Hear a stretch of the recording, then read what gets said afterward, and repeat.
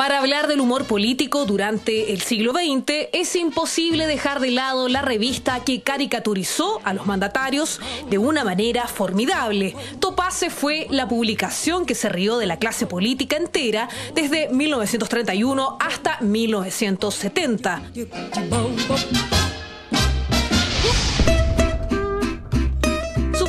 Número salió a la venta dos semanas después de la renuncia del presidente y general Carlos Ibáñez, en plena campaña electoral y logró un éxito insospechado. Nace prácticamente con la caída de Ibáñez. ¿no? Ah. Con la caída de, Ibáñez del año 31, creo, ¿no?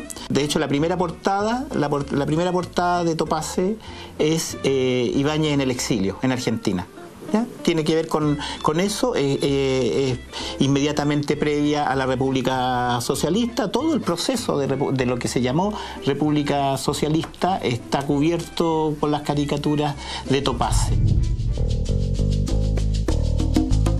Su éxito fue inmediato. Los temas políticos, tratados de manera humorística, entraron automáticamente en los hogares chilenos durante una época de gran presencia de cómics e historietas de todo tipo.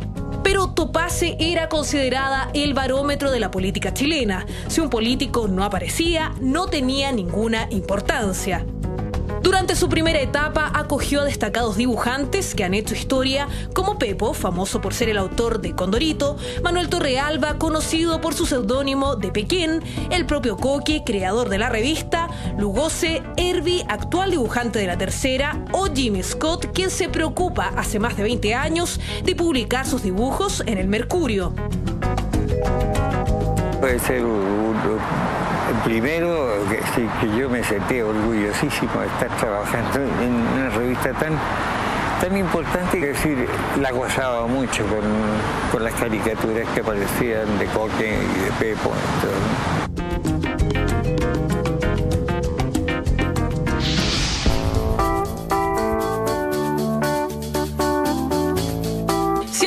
Topaz es imposible no referirse a uno de los personajes que más aparecía en sus publicaciones. Juan Verdejo, a veces llamado Juan Machuca, era un personaje flaco, patipelado, con pocos dientes, sin afeitar, el sombrero informe, sin armazón de pantalones rotos y doblados por las bastillas, con un parche en la rodilla.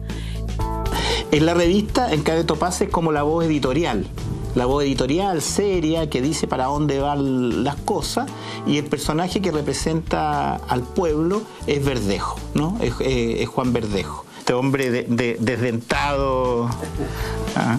y que, que es, es, como eh, es el origen de, del, condorito, digamos. O sea, es el roto chileno, ¿no? el gañán, que un poco, que un poco marginal, que, tiene algo de obrero y algo de campesino. ¿no?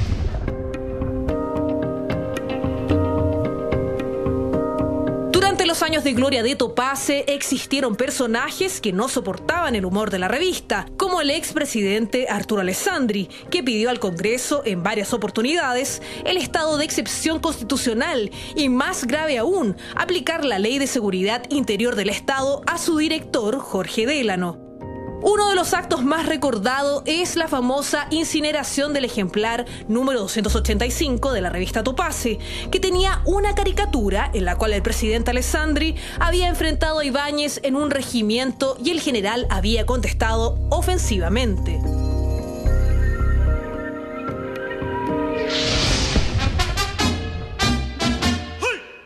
Otro de los personajes que apareció recurrentemente en las caricaturas de Topace fue el expresidente Salvador Allende. Va, cambiando el tipo de caricatura que se hace de él. ¿No? Primero, antes de la Revolución Cubana, Allende es un personaje eh, que, de quien se hacen caricaturas, ¿no es cierto? Y, la, y las características que se toma para hacerle caricatura es que era elegante que era un pije. Y siempre le dijeron el pije y que era elegante, ¿ah? mujeriego, ¿ah? le gustaban, eh, era muy galante, digamos, elegante y galante, ¿ya? Eh, pero sin mayor malicia esa, esas caricaturas. Pero después de la, de la revolución cubana, se, el, en la revista Topace, por ejemplo, se le empieza a asociar cada vez más con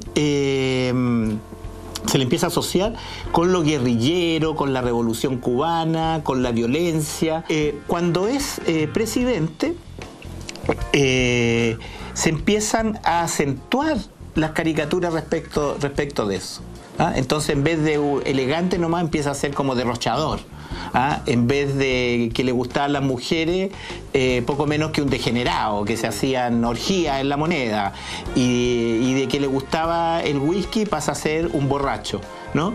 Entonces hay una, hay una creación de imagen de él en la revista CEPA, por ejemplo, y en la revista PEC, ¿no? en que asocian la, la imagen de Allende a la muerte, como diciendo en el imaginario de quienes, eh, de los lectores de esa revista, naturalizan que el fin del proceso es con la muerte de Allende.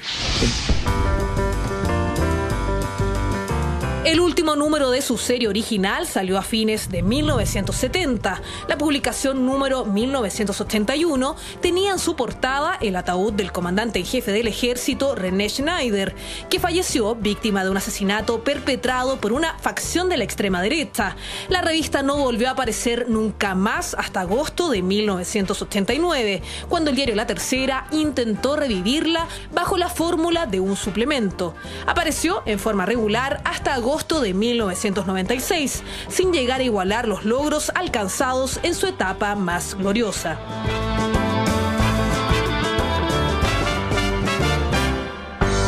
Seguimos revisando la historia del humor político, de la sátira política hecha en Chile y con este ícono absoluto, Topase. Yo me pregunto a nuestros expertos dos cosas. ¿Cómo nace Topase eh, y cuál es su posición política? Que no queda claro eh, ¿de, qué lado está Topase? Parece como que de ninguno. En el tiempo en que yo trabajé eh, era bastante permisivo el, digamos, el ámbito, porque eran ya eh, gobiernos, eh, en ese tiempo eran gobiernos democráticos. Perfecto. principalmente durante la el gobierno de Eduardo Frei Montalva, yo creo que fue una época muy fructífera en cuanto a, crítica política, pero no le gustaba a, Frei eh, mucho el humor político y, mandaba recados a las revistas. De, eran recados muy elegantes, pero no se metan con este tema. Y yo me acuerdo que me llegaron recados también en, a, eh, yo en el diario La Época y durante el gobierno de, Frei Montalva, perdón, Frei, Frei Ruiz Tagle, me estoy saltando. Perfecto. El, hijo, el hijo de Frei Montalva tampoco tenía muy buen humor y me llegaban recados. Una vez hice unos, unos chistes bien eh, ácidos acerca del, del escape este de los presos de la cárcel de alta seguridad. De alta seguridad. aguántame, y vamos a hacer un breve alto y seguimos hablando de la historia de Topaz, el humor político y la sátira en cultura verdadera. No te vayas. Somos los únicos completamente en vivo y en directo y además hablando de cultura a través de la televisión abierta. Qué lujito poder estar haciendo este programa donde además recorremos la historia del humor político, de la sátira política en Chile. Eh, por supuesto, fundamental durante todo el siglo XX fue esta revista, Topase, que dejó la escoba eh, en varios personajes eh, políticos de la época, ¿no? Pero yo preguntaba cuando revisábamos las imágenes del bloque anterior, ¿qué tanto se farandulizaba con eh, Topase? digo esto porque hay un viejo dicho en política, ¿no? da lo mismo si hablan mal o bien de ti, el, el rollo es que se hable.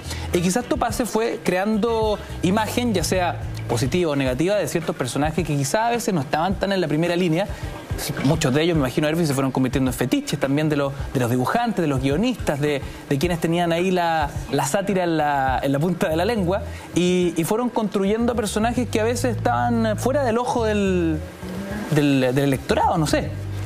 Sí, así es, y, cosa curiosa, algunos estaban muy orgullosos de aparecer en, caricaturizados en revistas o en periódicos me acuerdo de este político eh, Saldívar que, se murió, que fue embajador en Argentina. Adolfo, Adolfo Saldívar. Colorín.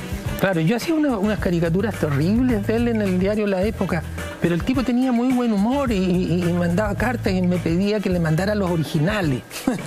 y yo le mandé mucho, igual al, al, eh, Insulsa. Insulsa me mandó a pedir muchos de los dibujos yo encantado se los, se los mandaba, pero había, habían otros. Esa, esa vereda ¿Cómo? me interesa. ¿Cómo? ¿Quiénes son los que más se irritaban? Los Frey, desde luego, padre e hijo. Ya, por igual. Por igual, sí. Eh, El, el- el Frey padre tenía un pésimo humor y el hijo heredó esa, esa mala costumbre.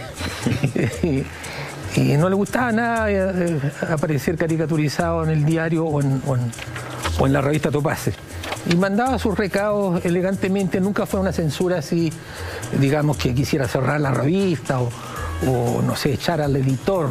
No, pero dejaba saber su molestia. Gonzalo, como lo hemos hablado en este programa, eh, el humor político aflora, eh, sobre todo cuando los países están eh, en crisis, ¿no? Cuando la clase política, el poder es cuestionado. ¿Tuvo que ver el nacimiento de Topase con algún hecho puntual que estaba sucediendo en, Chile en aquel entonces? Bueno, Jorge Montalegre lo mencionó ahí en una nota, es con la caída de Ibañez. Eh, por un lado se, se acaba la dictadura, entonces eso permite que las publicaciones eh, emerjan. Eh, y por otro lado es una época muy convulsionada, porque la caída de Ibáñez viene de la mano con una crisis económica terrible, es el crack de la bolsa que según algunos afirman Chile fue el país más afectado del mundo por esa crisis. Eh, la cesantía, la crisis de la industria salitrera que ahí terminó de morir y una gran agitación política. ¿Qué se veía en las calles? Eh, Bueno, ¿cómo- eh, se- se- se- pueblo hambre, chileno? hambre. Eh, de entrada hambre. Eh, muchos cesantes viviendo en las calles. viviendo en las plazas, en los cerros de Santiago, eh, condiciones higiénicas espantosas, inviernos con gente muriendo de frío. Era Una cosa eh, terrible. Y en esas circunstancias nace Topase. Y además con una, eh, con una, mm, eh, digamos, una efervescencia política también muy importante. En, eso, en el año 31, eh, y luego el 32 es cuando surge, por ejemplo, la República Socialista, que es un experimento político inédito a nivel mundial, para variar en Chile. Eh, está la sublevación de la escuadra, en fin, hay una serie de, de situaciones eh, muy convulsionadas y es ahí donde aparece Topase. Ese hastío del pueblo también tiene que ver con la figura de Juan Verdejo, me imagino, ¿no? Como el ícono personaje de popular, ¿no? Claro, o sea, En Topase. Juan Verdejo es el símbolo de, digamos, la picardía del chileno, ¿no? Y desde el, desde el hombre popular. Es como esa reserva moral de la patria, como decían los militares, pero en este sentido desde el humor. Entonces, eso es lo que levanta Topase. Maximiliano, ¿qué tanta polémica pudo generar una publicación como Topase? Eh, entiendo esta la historia de un presidente que incluso manda a quemar una edición. Miras toda la década del 30, porque del 32, 33 hasta el 38 es Arturo Alessandri el presidente, y con una presidencia muy derechista de este antiguo Arturo Alessandri, que el año 20 había sido este caudillo popular o populachero, en los años 30 se transforma en un tipo de derecha absoluto. Entonces también Topase... eh, eh, se la juega por criticar, pero todo el rato, en todos los números, a don Arturo.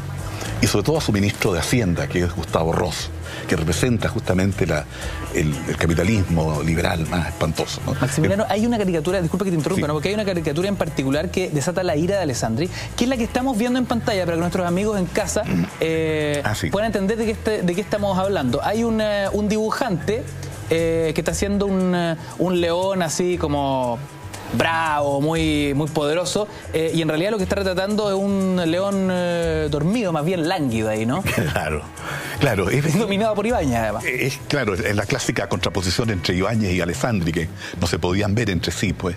Y entonces, claro, ahí la caricatura muestra que al final Ibáñez, o el león no, no es tan bravo como lo Claro, pintan, y, etcétera. Y- lo pintan eh, tal cual, no es tan bravo que lo pintan. Eco. Están pintando una careta de. O sea, en el fondo ahí lo están desenmascarando. Ah, claro, claro, claro. Pero es la crítica permanente, como te digo, a este Arturo Alessandri vendido, o vendido, pero entregado a la derecha. ¿Cómo reaccionó Alessandri con esta caricatura? Bueno, es, ¿Qué saben ustedes, historiadores? es- es el, año 38 al principio, ¿no? Claro, sí, sí, sí. mm, manda a, a investigaciones, de repente, eh, son los que eh, secuestran el número y fue queman policial. el número. Claro, claro. Van a la imprenta, Sí. secuestran el número entero y lo queman. Y todo eso de manera clandestina. Clandestina, pero Clandestina. a poco andar se sabe que Sí, es don Arturo sí. mismo el que está detrás de la cuestión. Fue, una gran vergüenza para Alessandri porque eh, Coque, que era el, director de la revista, eh, decide ir eh, detrás de esta edición incautada y descubre los restos, las cenizas en un recinto militar. Entonces explota la cuestión. Y se sabe públicamente que el responsable había sido Alessandri. Y Alessandri se ve obligado a dar disculpas públicas. Y eso para el ego de Arturo Alessandri debe haber sido lo peor que le ocurrió en la vida. Claro, o sea, después, de, que se lo sube al columpio permanentemente, porque lo hemos contratado acá, él manda quemar los ejemplares, se le descubre, pide disculpas. Claro, no todo mal, por todos lados. claro, eso para el ego de Alessandri debe haber sido un golpe muy, muy fuerte. ¿Topaz se reaccionó con eh, nuevas caricaturas después de este hecho? ¿Qué saben de eso? Sin duda. Porque ahí era, digamos, caldo de cultivo, está, se la dejaron boteando. Hay, una caricatura que me parece que era de portada, porque ya estaba tan enojado Alessandri que había prohibido que apareciera su rostro un poco lo que tú contabas en dictadura, ¿no? que no se podía dibujar a Pinochet, entonces dibujabas una torre con diálogo y todos asumían que ahí estaban. Entonces hizo un, mono como con, un, con, elementos de la vida cotidiana, no recuerdo cuáles eran, y para que se reconociera que era Arturo Alessandri, le hizo, arriba una onda en el pelo, que era la onda que usaba Arturo Alessandri, tenía como una, una cosa así. Un estilo ahí. claro, como una vuelta, como un copete, como un bucle, una cosa así. Y de esa manera lo siguió jorobando. Entonces se buscaba la manera de, hacerle el bulto a la censura o a la amenaza para de todas maneras seguir jodiendo al poder.